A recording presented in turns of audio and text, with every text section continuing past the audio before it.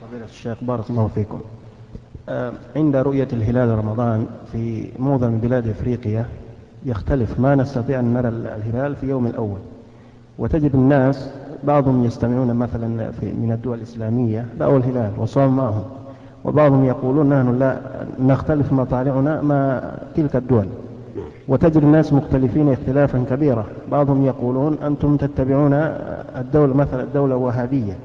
وبعضهم يقولون يعني كلام كثير فما هي الرأي الصحيح في هذا الحال؟ الرأي الصحيح أن ينظروا إلى ما يقرره علماؤهم هناك وقضاتهم لأن الصوم يوم يصوم الناس والفطر يوم يفطر الناس.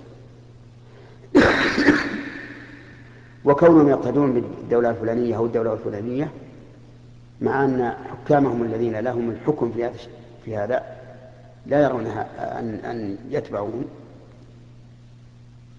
فهو خطأ منهم فيما نرى.